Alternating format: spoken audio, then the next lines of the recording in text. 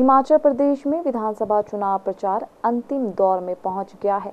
भाजपा, कांग्रेस के नेता एक दूसरे पर आरोप प्रत्यारोप करते नज़र आ रहे हैं।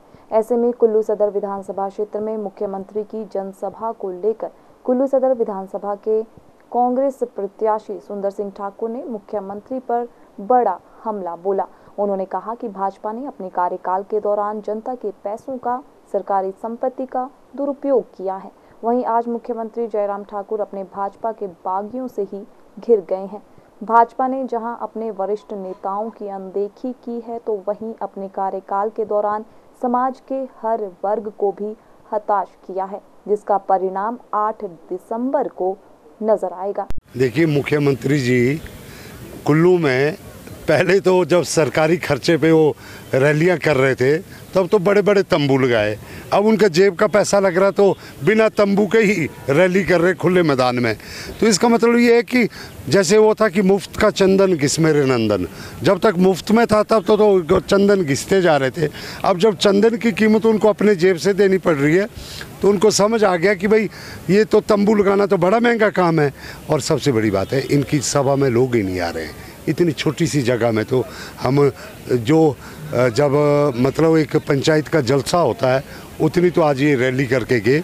मुख्यमंत्री जी जहाँ जहाँ भी जाएँगे, वो अपने कैंडिडेट के लिए तीन हज़ार वोट का नुकसान करके जाएँगे, तीन से पाँच हज़ार का।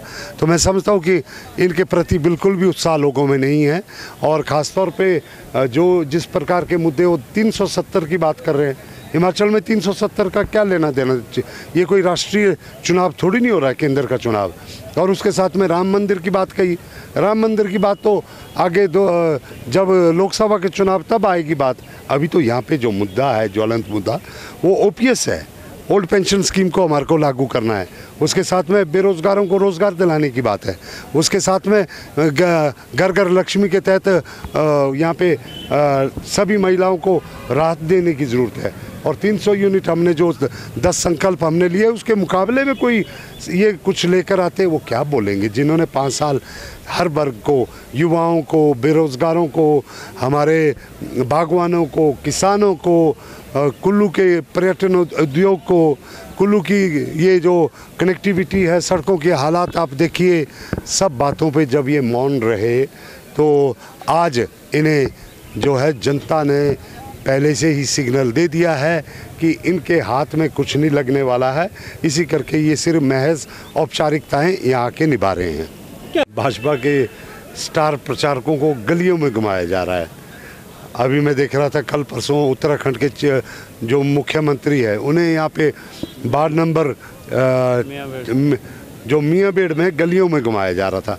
आप देखिए ये इनके साथ कोई भी जन, जनता का बिल्कुल भी रुझान नहीं आ रहा है।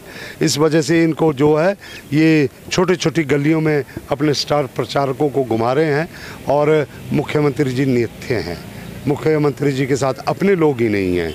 मुख्यमंत्री जी को अपने लोगों ने घेर रखा है और जो इनके बगावत के सुर, जिस प्रकार से इन्होंने अपने वरिष्ठ लोगों को नकारा है पिछले सालों में तो उसका साफ़ परिणाम अभी नज़र आने लगे हैं।